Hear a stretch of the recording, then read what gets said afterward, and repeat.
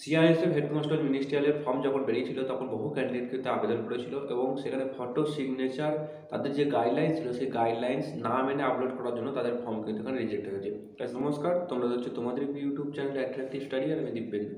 আজকের এই ভিডিওতে সিআরপিএফ হেড কনস্টেবল মিনিস্ট্রিয়ালের যে ভ্যাকেন্সি বেরিয়েছে, সেই ভ্যাকেন্সিতে অনলাইনে ফর্ম অ্যাপ্লাই করতে গেলে তোমাদের ফটো কত কেবি লাগবে ফটোর ব্যাকগ্রাউন্ড কি হতে হবে ফটোতে ডেট দিতে হবে নাকি সিগনেচার কত কেবি লাগবে? সিগনেচার কোন কালারে করতে হবে? এছাড়াও কাস্ট সার্টিফিকেট সম্বন্ধিত যেসব আপডেট আছে ডকুমেন্ট আপলোড সম্বন্ধিত আপডেট কিন্তু এই ভিডিওতে আলোচনা করব। সিআরএসএফ হেড কনস্টেবল মিনিস্ট্রিয়ালের ফর্ম যখন বেরিয়েছিল, তখন বহু ক্যান্ডিডেট কিন্তু আবেদন করেছিল এবং সেখানে ফটো সিগনেচার তাদের যে গাইডলাইন ছিল, সেই গাইডলাইন্স না মেনে আপলোড করার জন্য তাদের ফর্ম কিন্তু এখানে রিজেক্ট হয়েছে। তা সিআরপিএফ হেড কনস্টেবল মিনিস্ট্রিয়ালের ভ্যাকেন্সিতে তোমরা যখন অ্যাপ্লাই করবে তোমাদের ফর্ম যাতে রিজেক্ট না হয়, তার জন্য কিন্তু এই ভিডিওতে আমি তোমাদেরকে ফটো সিগনেচার এবং কাস্ট সার্টিফিকেটের যে গাইডলাইন এসেছে সেই গাইডলাইনটা তোমাদের সঙ্গে শেয়ার করব। তাই ভিডিওটাকে স্ক্রিপ্ট না করে প্রথম থেকে শেষ করে দেখো। আর তোমরা এরকম সরকারি জব এবং হেল্পফুল ভিডিও পেতে তোমরা আমাদের চ্যানেলটিকে সাবস্ক্রাইব করে পাশে থাকা ভিডিওকে প্রেস করে আমার সঙ্গে যুক্ত হয়ে থাকতে পারো।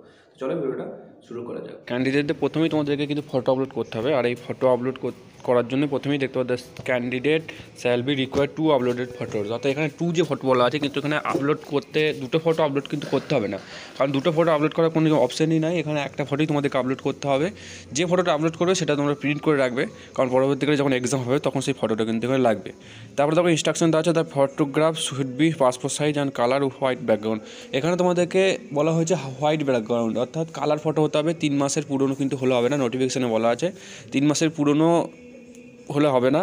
এছাড়াও কালার ফটো হতে হবে এবং ব্যাকগ্রাউন্ড কিন্তু হোয়াইট বলা আছে। কিন্তু নোটিফিকেশনে বলা আছে হোয়াইট গ্রে বা লাইট কালার হলেও তোমরা আবেদন করতে পারবে। যেসব ক্যান্ডিডেট আবেদন করে দিয়েছ অন্য কোনো কালার দিয়ে, তাদের কিন্তু ফর্ম রিজেক্ট হবে না, তাদের টেনশনের কোনো কারণ নেই। এসব নতুন ক্যান্ডিডেট যারা আবেদন করবে, তাদের কিন্তু হোয়াইট ব্যাকগ্রাউন্ড করে আবেদন করবে।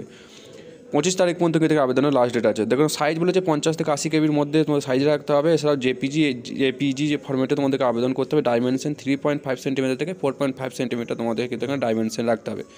তো মনে রাখবে কালার ফটো হতে হবে, তিন মাসের পুরনো কিন্তু এখানে হলে হবে না।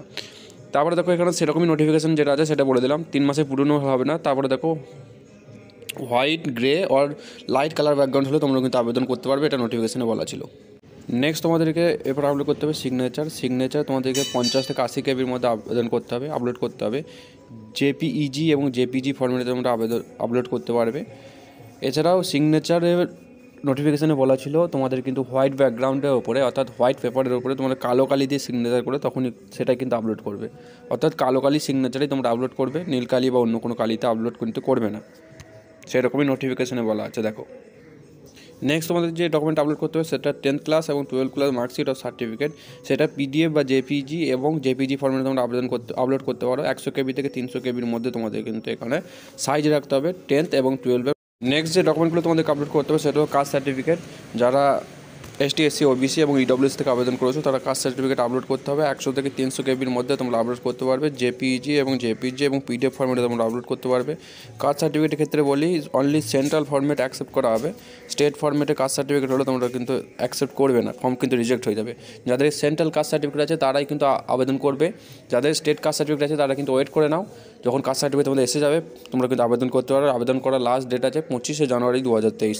ভিডিওটা ভালো লাগলে লাইক তো এই ছিল সিআরপিএফ হেড কনস্টেবল মিনিস্টারিয়ালে আবেদন করার জন্য ডকুমেন্ট ফটো সিগনেচার আপলোডের গাইডলাইন্স তোমাদের সঙ্গে শেয়ার করলাম। ভিডিওটা ভালো লাগলে লাইক করো। আর তোমরা যদি এই চ্যানেলটি প্রথমবার ভিজিট করছ চ্যানেলটিকে সাবস্ক্রাইব করে পাশে থাকা বেল আইকনটাকে প্রেস করে আমার সঙ্গে যুক্ত থাকতে পারো পরবর্তী আপডেট পাওয়ার জন্য। তো দেখা হচ্ছে পরের ভিডিও জয় হিন্দ।